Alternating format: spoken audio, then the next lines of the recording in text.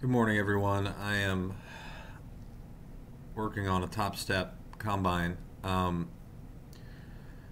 as you know, I've decided to move down to one contract and to keep it at one contract in order to give myself the best chance of um, staying in this game for the long run. Um, I want to talk about some of the mistakes, why I'm currently in drawdown, and then about this current entry. So, this. Um, grind up that we had during the Asian session and during the London session was a very slow, uh, a slow sort of affair where we ended up making a three drives pattern and I was trying to get short much earlier and the mistake really was knowing your daily profiles. Um, this was a very dubious high uh, because it came during New York midnight. And really the high of the day um, or even the high of the session should not come during that time of the day. And so that was a very sort of strange high. Um, obviously it was also very illiquid so that was a long wick inefficiency. Um, this high right here coming at 0510 towards the towards the uh, end of the the London AM session is a much more reliable high um, I'm trying now really to follow Michael's advice as much as possible. Um, and so he says aim for the lowest hanging fruit. So I am aiming for just the very first low. And then we'll see if we can grind back from there. Um, every trade that you take needs a multiplier. Okay, so the multiplier that I used was called a turtle soup pattern. Now you could have also treated it as a three drives pattern as well. Uh, what is a turtle soup pattern? Well, it's basically um, a false breakout or just a sweep or a small run of a prior high. That is a very good looking high there because it comes at 0510 and that would be a very reasonable time for price to put in a high. So I'm feeling pretty good about where I am now.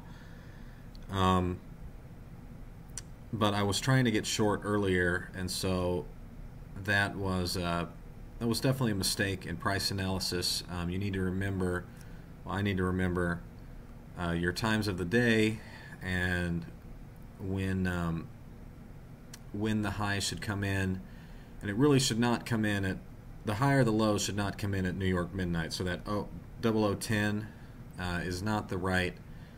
It's really not the right time of the day for a high to be put in.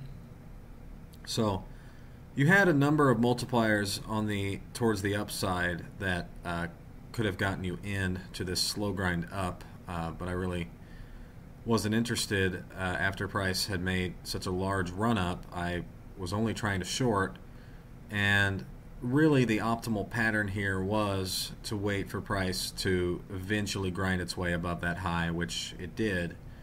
Um, I think the only thing that fooled me so much is how slow price was to get up there it looks like it's going quickly now back to the downside, but man, when this thing was grinding up there, it was taking forever. It was very liquid, um, and that that definitely had me fooled.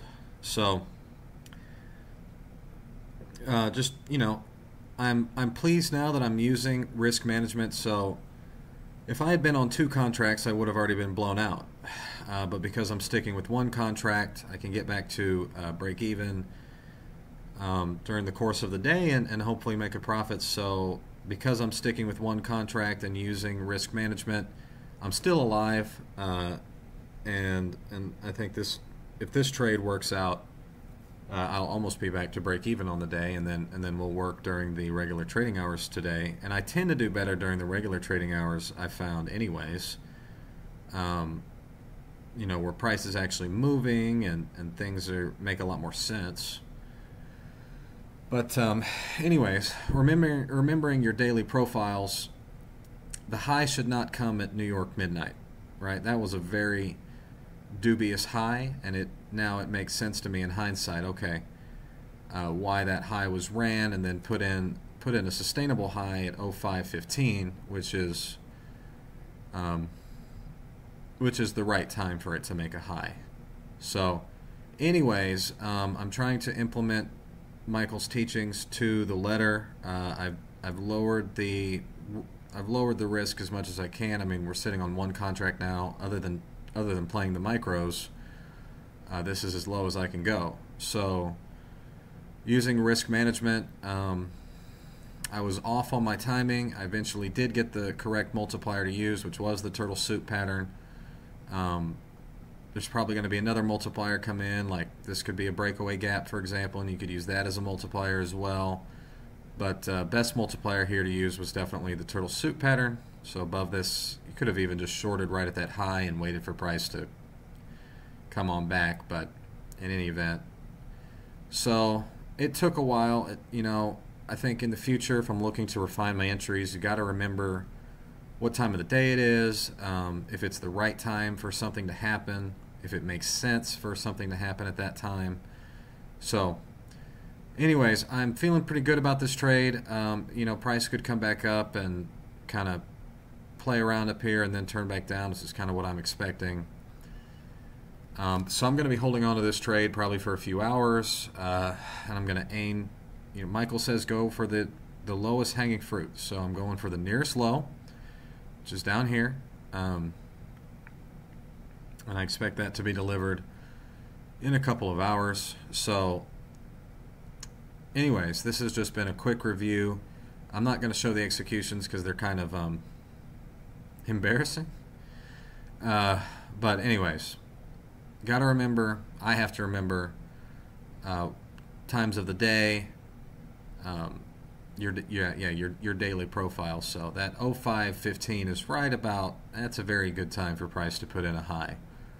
Uh, 0010 is is definitely not the right time for price to put in a high. So trying to work on my timing, and then if I can get my daily profiles and my timing along with getting a good um, multiplier, like a turtle soup pattern is a good multiplier to use oftentimes, especially in illiquid market conditions, then. Uh, you know, we'll get there. Uh, and if I use risk management, if I stick to one contract and and hit a good enough strike rate and all that good stuff, should come out with um, get back to break even and then and then get to a profit on the day. So, all right, I'll check back in with y'all later, and we'll see where price goes from here. Bye.